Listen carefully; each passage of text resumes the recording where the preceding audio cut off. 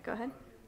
Hi, I'm Dr. Evan Lieberman, uh, professor of film at Cleveland State University and co-organizer of the uh, Picture Start or uh, the Picture Start uh, uh, interactive panel discussions with Dr. Kim Neuendorf.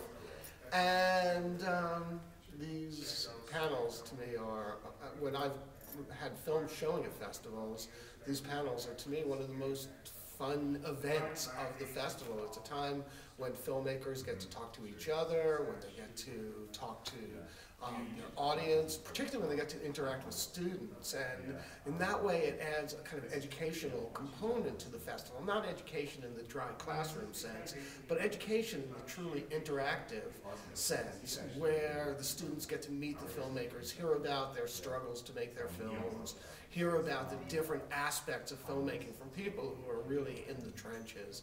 So to me, this uh, really enlivens the film festival and makes seeing the films even a, a, a more rich experience as people know uh, what's gone into their making.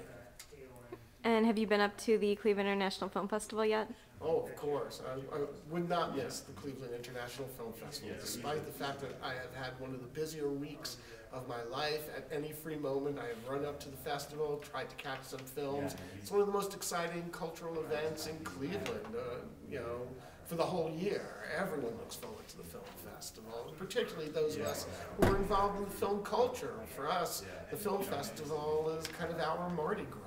You know, it's a, it's our, our celebration in a way. Of course, there's all these other people there. I don't know what they're doing, but uh, they're buying a lot of tickets, that's for sure.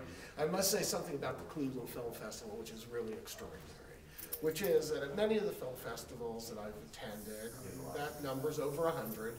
Um, some screenings are crowded, and other screenings much less so, and some screenings are barely attended at all. I hate to say a couple of those screenings have been of my films.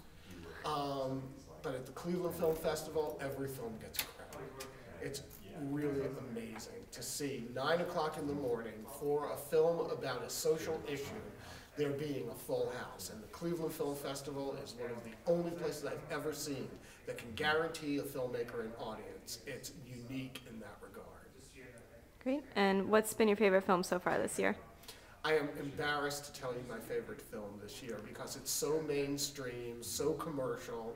It was Dunya and Desie, um, based on a, a television show from the Netherlands that was extremely straightforward, mainstream, but perfectly made in every way. A terrific script, very, very fine acting performances, beautiful cinematography that never became overly picturesque. Every part of the film was just right. And there's something so refreshing, something so energizing about seeing a film that works just from beginning to end in that way.